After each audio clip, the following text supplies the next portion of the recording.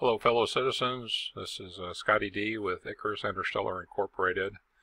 Um, uh, not too long ago, I posted up a couple of videos uh, about my T-Flight X HOTAS and doing configurations on it. And um, I had uh, someone that watched it that uh, made a comment about having an issue with uh, how the inputs were showing up in the key bindings when he was trying to do, set his throttle, uh, it was coming up as uh, z-axis input 2. Uh, so uh, I have had the, the, experience of that, and so I figured I, would share with you guys. Um, so here you see my peripherals uh, set up here, and you can see my T-Flight HOTAS here. Um, And as you can see, I'm moving my throttle there. You can see that my z-axis is going back and forth like it's supposed to. Um, Windows is is nice in the fact that it allows you to have multiple peripherals, and uh, and so what had happened for me when uh, I had noticed this particular incident uh, is that my son had plugged in a gamepad controller I'm plugging that in now. And you can see there that it's uh it's just showed up there. And it also has a z-axis uh, controller.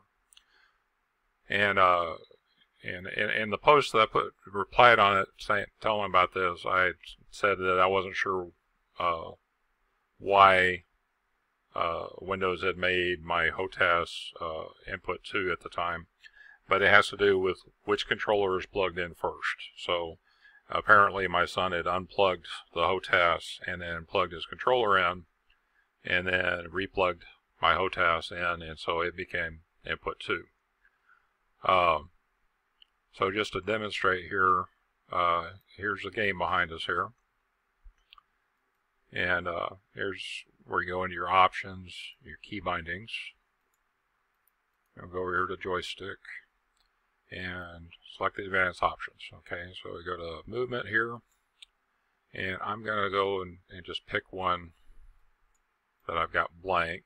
Uh, let's do straight straightforward. Here's straightforward.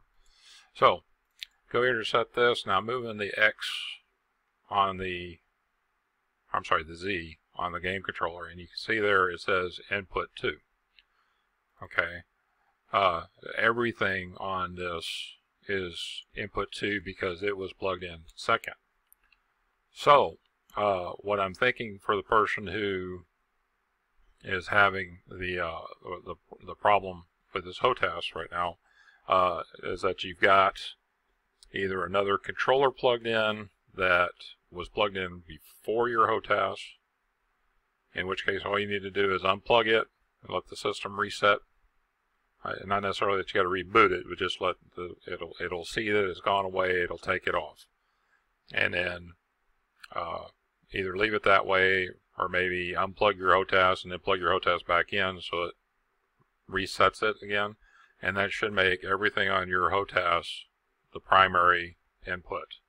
And then when you come back in here, Instead of that, you should see that.